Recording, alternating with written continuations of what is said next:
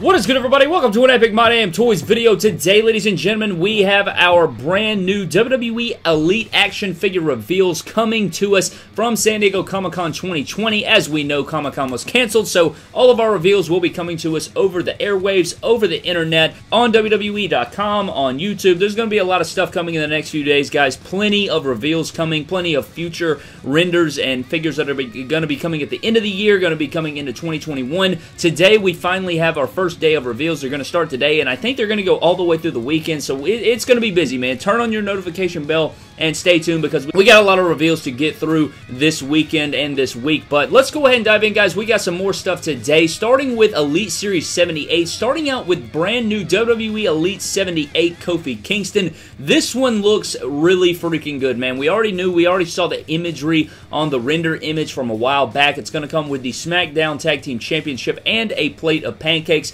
I think this Kofi looks amazing. I love the attire. I love the head sculpt. The face isn't as good as I would say as his last Elite, but I love the attire. I like all the colors we're getting. Kind of gives me like an MDT theme pink sleeves, SmackDown Championship. I think this is one of Kofi's better elites. I like the head sculpt. I like the, the blonde streaks in the front. Um, it does look like they left out the fade again. If he did have the fade, I'll have to add it myself. But I like the way this Kofi looks, man. I think the Kofi looks really, really good. All the graphics and colors, and it, it's all popping off. This is a really strong figure.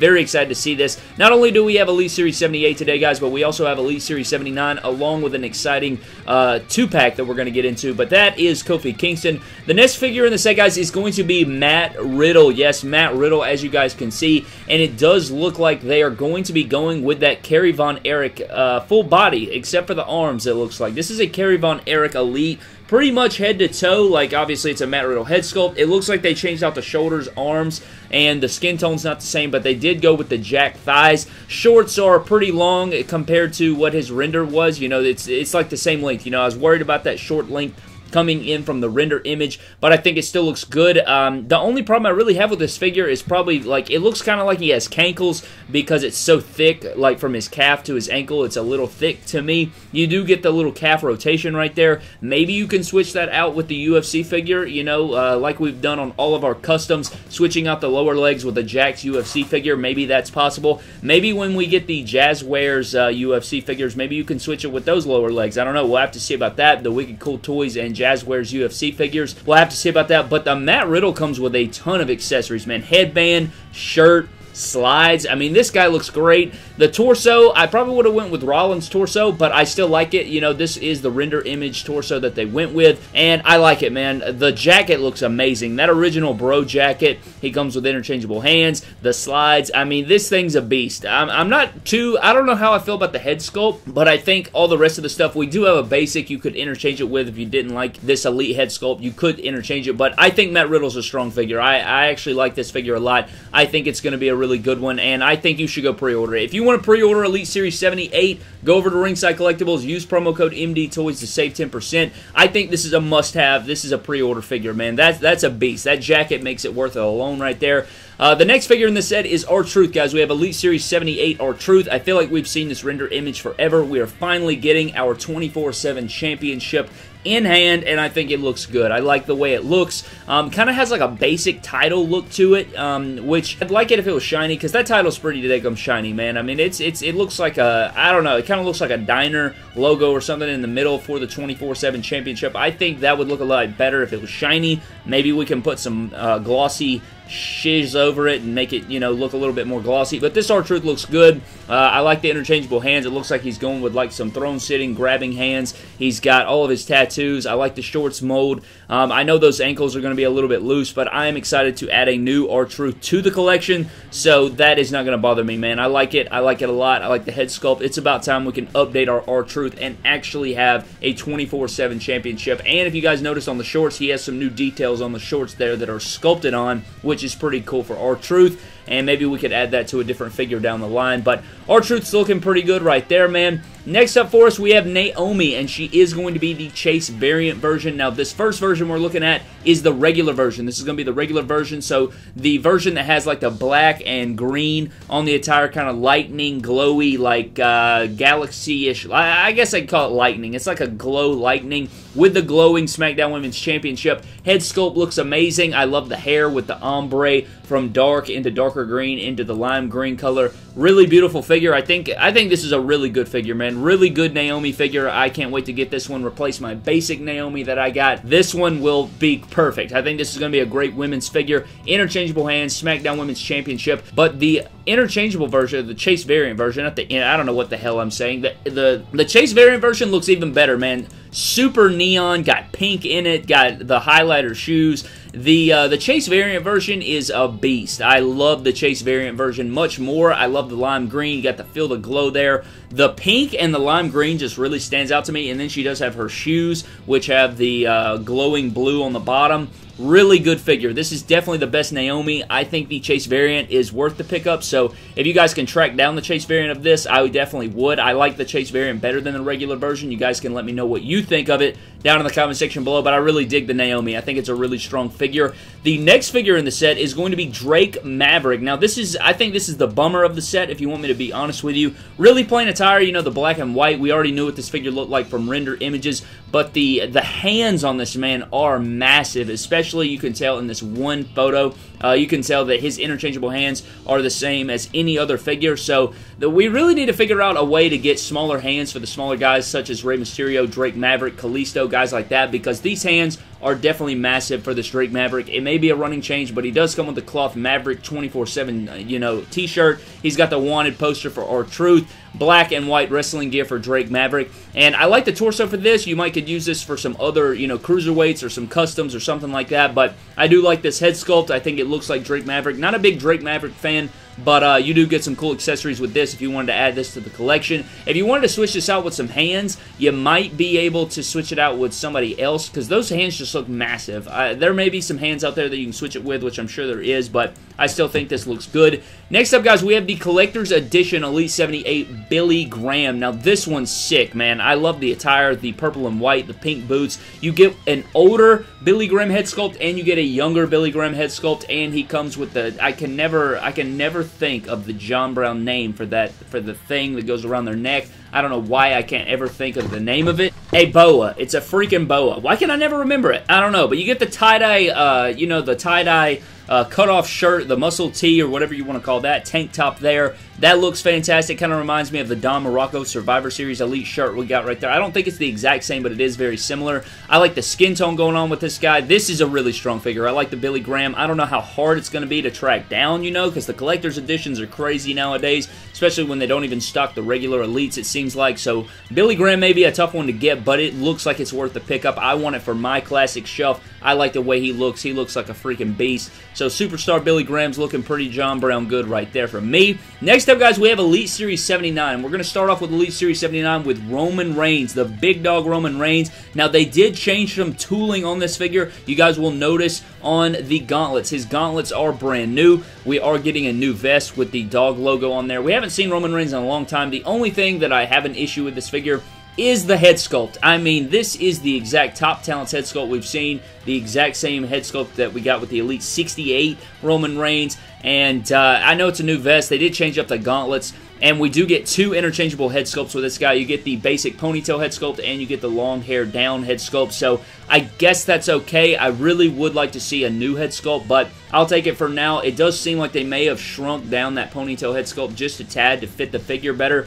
I do like the new gauntlets. I like the way the gauntlets look. They look like they're more detailed. They got better paint apps on them and stuff like that. But kind of a plain Jane figure, you know, universal title. Uh, two interchangeable head sculpts, gold and black vest. You know, it's kind of like an updated network spotlight Roman Reigns, if you will. It's kind of how I like to look at it, but he's not the only figure from Elite 79 that we get to take a look at, guys. We also have Elite Series 79 Randy Orton. Now, I thought he was going to be in Elite Series 78. Okay, that's my apologies. Roman Reigns is the first figure out of Elite Series 79, guys, but the Elite Series 78 is Randy Orton. Randy Orton's a part of Elite Series 78, so I guess they kind of messed up on that, but this Randy Orton is from Elite Series 78. Now, I will say, I don't like this head sculpt. I, I'm not really big on this head sculpt. I think that the uh, you guys know the elite that I use in all my pay-per-view predictions. The uh, you know that fix up. It's like the basic. I don't even know what the basic series is. It's like basic 74 or 75 or something like that. Randy Orton. I love that head sculpt. I think that still today uh, one of the best Randy Orton head sculpts to just capture the likeness. I'm not big on this head sculpt. They did do the same thing they did with the Elite 69 Randy Orton. No, what was it? The Elite 67, my bad. The Elite 67 Randy Orton. It's pretty much that exact same figure. It is going to come in the black, red, and white attire with the RKOs on the knee pad, so you get a little bit of a different attire here.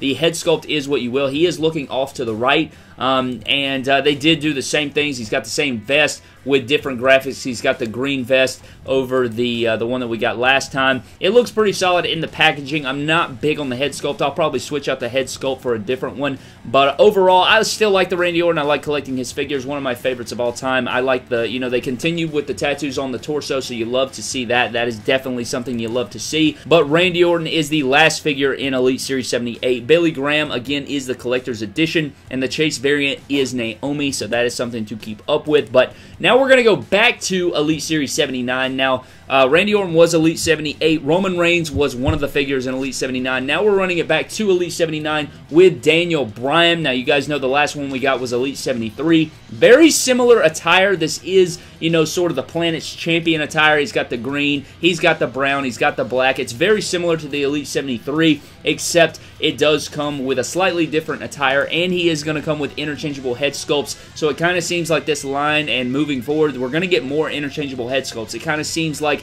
we're moving in that direction of multiple head sculpts with different figures, which is very beautiful to see. We may be on the verge of seeing, you know, multiple figures every set having interchangeable head sculpts. I like this. This is a re-release head sculpt. It's just updated with TruFX and different paint apps. I do believe this is the Elite 19 Daniel Bryan head sculpt. I could be wrong about that, but it does look good. I like it. You know, you can have your different versions there. You may even want to uh, shave the hair down and do a different color and kind of have it like that fade look if you want a completely shaved head. I still like it, man. That's great. You get four pairs of interchangeable hands with this Daniel Bryan. You got the throne sitting hands, you got the yes chant hands, you got the fist, you got the mic holding hands, so tons of stuff with that figure. It is kind of plain Jane, so that's probably why they threw in all those hands and the two interchangeable head sculpts. This is from the Royal Rumble strap match uh, for the Universal Championship between him and The Fiend.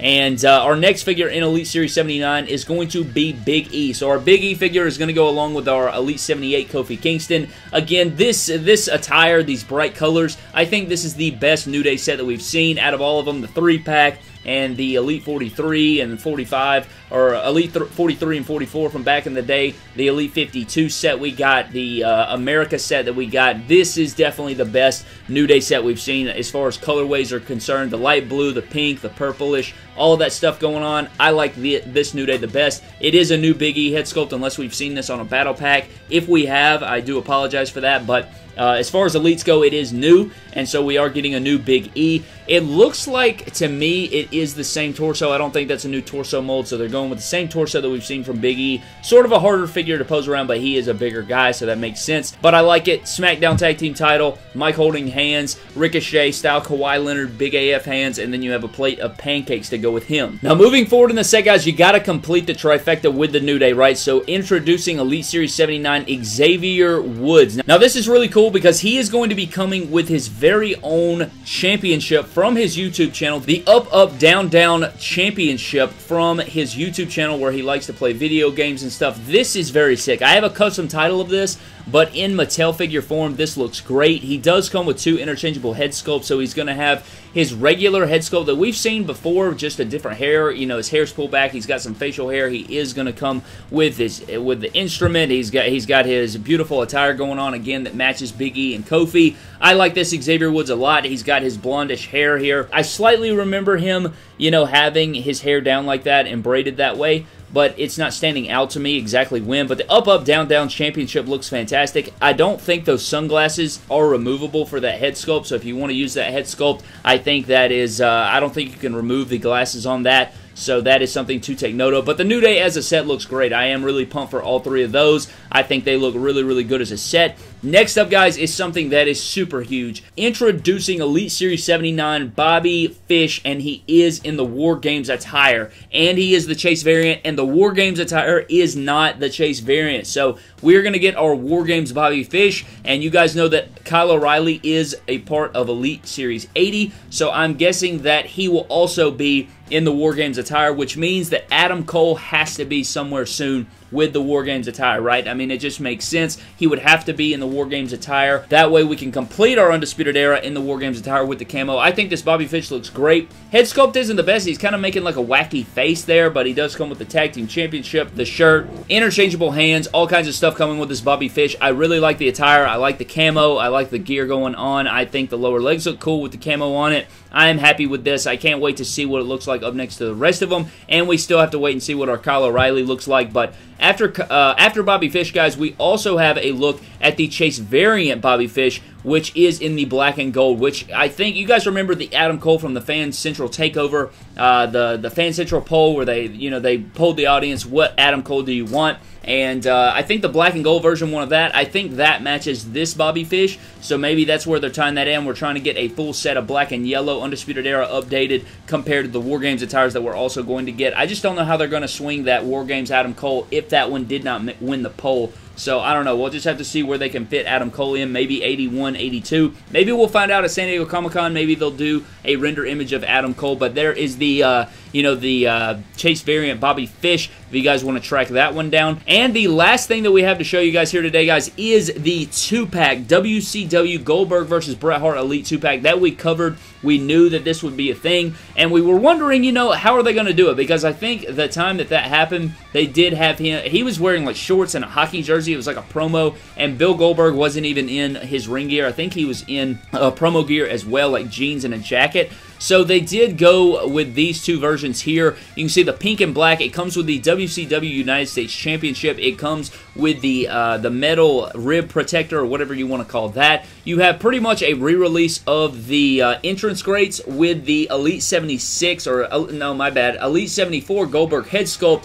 with the throwback uh, beard. And then you have the interchangeable head sculpt, which we saw with the main event Raw ring and the entrance Grace Goldberg, along with interchangeable ha uh, interchangeable hands, which is like mic holding hands and choke slamming hands. You have the Bret Hart with the championship, the uh, regular Ultimate Edition head sculpt, and a WCW Monday Night Nitro shirt, which uh, Bret Hart was wearing a Toronto Maple Leaf jersey, if I'm not mistaken, during that moment. So I guess they just decided to throw in a WCW t-shirt, which is cool. And the packaging for this ish is very sick, man. You got the WCW logo, the Elite there. You got the freaking Fire, Bret Hitman Hart, Goldberg. I mean, this is a beautiful set of packaging. And uh, I think you throwback collectors are going to like this a lot. I like it a lot. It looks fantastic. The back of the packaging looks great as well. And just overall, this is a very sick two-pack. I like it a lot. Um, plenty of stuff. If you missed out on some stuff, you can grab this thing. I think that's a repaint of the King of the Ring Bret Hart. That is ringside exclusive. I could be wrong about that. It's like a slightly lighter-ish pink